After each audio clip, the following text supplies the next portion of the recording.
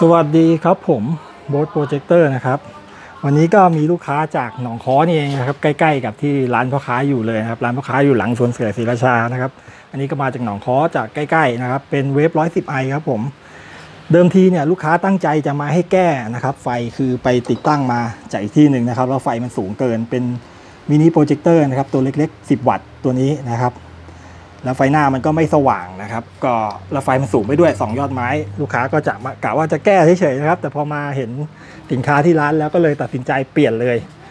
นะครับเปลี่ยนมาเป็นโปรเจคเตอร์ LED 12 วัตต์ RGB นะครับตัวที่เปลี่ยนสีได้นะครับคือสินค้าใหม่เลยของที่ร้านนะครับ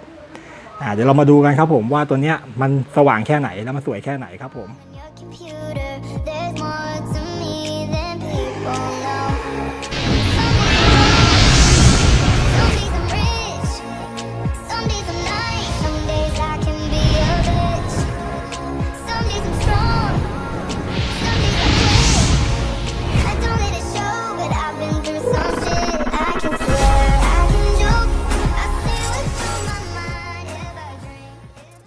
โอเคครับผมก่อนอื่นพ่อค้าย้ำตรงนี้นิดนึงนะครับร้านพ่อค้าอยู่ชลบุรีอำเภอศรีราชานะครับอยู่บริเวณหลังสวนเสือศรีราชานะครับผม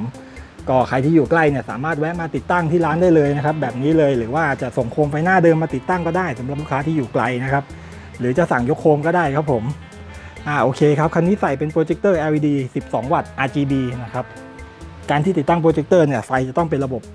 AC นะครับก็คือ ไฟเนี่ยสามารถเปิดได้เลยโดยที่ไม่ต้องสตาร์ทเครื่องนะครับ แบบนี้ นี่ครับผม อ่า นี่เป็นวงแหวนชั้นในสีฟ้าชั้นนอกสีแดงนะครับ Devil Eye สีแดง ปิดแล้วเปิดใหม่ครับผม วงแหวนชั้นหลังจะเปลี่ยนสีไปเรื่อยๆนะครับ วงแหวนชั้นหน้ากับ Devil Eye จะคงสีเดิม แบบนี้นะครับ อ่า แดงฟ้าเขียว แดงฟ้าม่วง แดงฟ้าเขียวนะครับ อ่า แดงฟ้า อันนี้เป็นเปลี่ยนสีไปเรื่อยๆแล้วครับผม อันนี้มือพ่อค้าอยู่นี่นะครับ ไม่ได้เปลี่ยนอ่าคือมันจะเปลี่ยนไปเองตามจังหวะนะครับ แล้วก็ปิดและเปิดอีกหนึ่งครั้งอ่าจะเปลี่ยนแบบเร็วนะครับ ปิดและเปิดอีกหนึ่งครั้ง ตัวนี้จะเป็นแบบแฟลชครับผม ปิดและเปิดอีกหนึ่งครั้ง อันนี้เป็นจังหวะที่พ่อค้าชอบมากก็คือเป็น RGB นะครับเปลี่ยนไล่สีไปเรื่อย ๆ แบบนี้นี่นะครับเปลี่ยนไปเรื่อยอันนี้พ่อค้าไม่ได้กดสวิตช์แล้วนะครับ คือมันจะเปลี่ยนไปเรื่อย ๆ แบบนี้เอง นะครับตัวนี้ลูกค้าติดตั้งไปจบเบ็ดเสร็จเลยนะครับเว็บยอด110 i นะครับนำรถมาติดตั้งพร้อมสวิตช์ใช้งานได้เลยเนี่ยอยู่ที่ 1,290 บาทครับผมอ่าโคมเก่าที่ลูกค้าติดมาก็ 600 กว่าบาทนะครับใช้งานจริงไม่ได้ครับผมอ่าโอเค เดี๋ยวเรามาดูในเรื่องของไฟหน้ากันนะครับว่า 12 วัตต์เนี่ยมันใช้งานได้แค่ไหน ตรงนี้ระยะจากตรงนี้ถึงตัวตู้ตรงนี้ก็ไม่ไกลเท่าไหร่นะครับใกล้ๆเป็นไฟต่ำครับผมตัวนี้ อันนี้รถขึ้นขาตั้งคู่อยู่นะครับ อาจจะดูต่ำไปสักหน่อยหนึ่ง ถ้าเอาขาตั้งลงก็จะพอดีนะครับ แต่ลูกค้าอยากได้ต่ำๆครับเพราะดวงเก่าเนี่ยไฟสูงนะสูงมากครับผม ไฟสูงครับ ต่ำครับ สูงครับ ต่ำครับ สูงครับ ตัวนี้คือมีไฟต่ำสูงจริง ๆ นะครับ สามารถใช้งานได้จริงครับผมให้แสงไฟที่กว้างกว่าตัว 10 วัตต์เยอะนะครับ สามารถใช้งานได้สองทางได้ทั่วถนนนะครับ ไม่ได้ลงเป็นจุดเล็ก ๆ ครับผม ตัวนี้นะครับเฉพาะตัวสินค้าราคาขายอยู่ที่ 690 บาทนะครับเป็นวงแหวนเปลี่ยนสีได้นะครับ RGB นะครับถ้าเป็นตัวที่วงแหวนเปลี่ยนสีไม่ได้จะอยู่ที่ 650 วัตต์นะครับเป็นไฟหน้าแบบนี้เหมือนกัน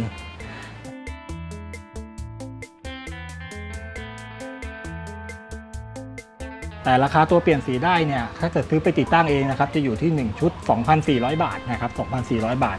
ก็ได้ครบชุดเลยนะครับ พร้อมบัลลาสต์พร้อมหลอดฟีนอลเลยอ่าโอเค เดี๋ยวเรามาดูกันดีกว่าว่าตัวเนี้ย มันเปลี่ยนสีแบบไหนยังไงนะครับโอเคตรงนี้เมื่อเราเปิดสวิตช์มานะครับ ก็จะมีไฟเข้ามาเลี้ยงโปรเจคเตอร์เรียบร้อยนะครับอ่าพอเราเปิดอย่างนี้นะครับนี่ตรงนี้ลูกค้าใส่เป็นไฟเส้นด้านในด้วยครับ ก็จะพอมองเห็นอยู่อันนี้เซตไว้เป็นสีขาวนะครับ เป็นวงแหวนสีขาวทั้งสองชั้นอ่าตัวนี้ก็คือมือถือของลูกค้านะครับที่ว่าได้อ่าเชื่อมต่อกับเครื่องนี้ไว้แล้ว กับบลูทูธตัว driver ตัวนี้แล้วนะครับ นี่นะครับ พอค้นหาเสร็จมันก็จะขึ้นแบบนี้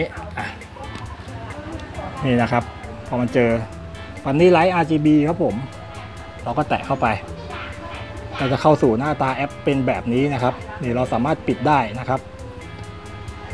ปิดเปิดได้นะครับ ผ่านจากแอปตัวนี้เลยอะลูกค้าตั้งกล้องก่อนนะครับอาจจะมองไม่ค่อยเห็นนะครับ เพราะว่า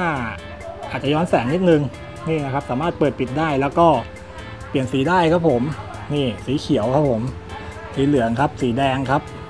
สีม่วง สีน้ำเงิน สีฟ้านะครับ แล้วก็สามารถเลือกเปลี่ยนเศษสีจากตรงนี้ได้ด้วยนะครับนี่นี่เลยอ่าโอเค เราสามารถเลือกเปลี่ยนเฉพาะวงหน้าวงหลังได้นะครับ ด้วยการล็อกไว้หนึ่งวงนะครับ ล็อกก็คือจะเป็นสัญลักษณ์แบบนี้นะครับ สีขาว ถ้าเป็นสีออกส้มๆเหลืองๆตัวนี้คือเปลี่ยนได้นะครับ วงหน้าวงหลังเราก็ดูเอานะครับนี่กดเปลี่ยนเอาอ่านี่คือเปลี่ยนวงหน้านะครับนี่ เปลี่ยนวงหน้าอย่างเดียวนะครับ วงหลังจะล็อกไว้สีเดิมแต่ถ้าเราเรามาเปิดตัวนี้นะครับนี่เปิดตัวนี้แล้วมามาล็อกตัวนี้แทน ทีนี้จะเป็นการเปลี่ยนวงหลังครับผมนี่ครับแบบนี้เลย ถ้าแบบนี้ก็คือเปลี่ยนทั้งสองดวงนะครับ แล้วก็คันนี้ใส่ Devil Eye ด้วยนะครับนี่ Devil Eye เป็นสีแดงนะครับคันนี้ที่ลูกค้าใส่ไปนี่นะครับมันอาจจะมองไม่ค่อยเห็นหน่อยนะครับ ต้องขออภัยด้วยตรงนี้มันค่อนข้างจะย้อนแสงนิดนึงนะครับ ลูกค้าก็พยายามแล้ว แต่ว่าใช้ทั้งขาตั้งกล้องทั้งอะไรช่วยครับเดี๋ยวเราปิดวงแหวนก่อนนะครับ ดูเฉพาะ DVI สีแดงครับผม ตรงนี้เราสามารถเปิดปิดแยกกันได้หมดนะครับ ไม่ว่าจะเป็นวงแหวนหรือ DVI นะครับ ถ้าเราเปิดปิดผ่านจากสวิตช์เนี่ย ถ้าเราไม่ได้ปิดที่แอปเนี่ย เราเปิดขึ้นมาอีกมันก็จะติดเลยนะครับ นี่ วงแหวนก็จะติดเลยโดยที่เราไม่ต้องมาปิดเปิดจากมือถือนะครับ แต่ถ้าเราปิดที่มือถือไว้นะครับ ปิดที่มือถือไว้อ่านี้เราเพิ่งเปิดมาต้องเชื่อมต่อใหม่นะครับ เพราะว่าเราเราปิดไปแล้วเมื่อกี้เนาะเราปิดไปแล้วแล้วเราเปิดมาใหม่เนี่ยถ้าเราจะเชื่อมต่อกับมือถืออีกเนี่ยเราต้องกด connect อีกทีนะครับ แล้วก็สามารถปิดจากตรงนี้ได้เลยนะครับ ทีนี้เราปิดที่สวิตช์เนี่ยถึงเราจะเปิดสวิตช์มาวงแหวนก็ไม่ติดนะครับ ต้องมาเปิดจากแอปอีกทีหนึ่งอ่าโอเค ตรงนี้เรื่องแอปก็เข้าใจตามนั้นเนาะก็มีในรีวิวพ่อค้าอยู่แล้วนะครับ ตรงนี้เราไม่ไม่ได้รีวิวละเอียดมาก ถ้าใครไม่เคยดูก็เดี๋ยวพ่อค้าแปะไว้ดูตรงนี้นะครับว่ามันทำงานแบบไหนแบบละเอียดเลยอ่าโอเค เดี๋ยวทีนี้เรามาดูในเรื่องของไฟหน้ากันบ้างนะครับไฟหน้าตัวนี้เป็นซีนอนนะครับเป็นซีนอนขนาดบัลลาดเนี่ยอยู่ที่ 35 วัตต์นะครับ 35 วัตต์อ่าแสงซีนอนนะครับจะค่อยๆสตาร์ทขึ้นช้าๆนะครับนี่จะมองเห็นคัตออฟนะครับ ตรงนี้ชัดเจนนะครับ ขึ้นทางขวาและอยากไอ้ขึ้นทางซ้ายนะครับ และอยากต่ำลงทางด้านขวานะครับ เพื่อลดการแยงตาของรถที่วิ่งสวนเรา อันนี้คือไฟต่ำนะครับ ไฟสูงครับผม ต่ำครับ สูงครับ ต่ำครับ ปิดครับผม โอเคครับผมก็คลิปนี้ก็คงจะไม่ได้รีวิวอะไรยาวมากมายนะครับ เอาเท่านี้พอเพราะว่าเดี๋ยวลูกค้าก็หิวข้าวแล้วนะครับ ก็ครึ่งวันกว่าทำไป นะครับโอเคครับผมคลิปนี้พ่อค้าก็จัดทำลงทั้ง Facebook และ YouTube นะครับหากใครสนใจสินค้าเนี่ยถ้ารับชมบน Facebook เนี่ยก็สามารถทักแชทหาพ่อค้าจาก Facebook Fanpage ที่ใช้โพสต์คลิปนี้ได้เลยนะครับแต่ถ้าใครที่รับชมบน YouTube ก็พ่อค้าทิ้งลิงก์การติดต่อทั้งหมดไว้ที่ใต้คลิปนะครับแล้วก็ฝากกดไลค์แฟนเพจให้พ่อค้าด้วยนะครับ เราจะได้ร่วมกิจกรรมดีๆกันอีกครั้งหนึ่งนะครับ รอให้แฟนเพจครบ 4,000 ไลค์นะครับ มีแจกอีกรอบหนึ่งแน่นอนนะครับ แล้วก็ฝากกด Subscribe Channel YouTube และกดกระดิ่งให้พ่อค้าด้วยครับผม คลิปนี้ก็ฝากกดไลค์กดแชร์ด้วยนะครับ ขอบคุณครับ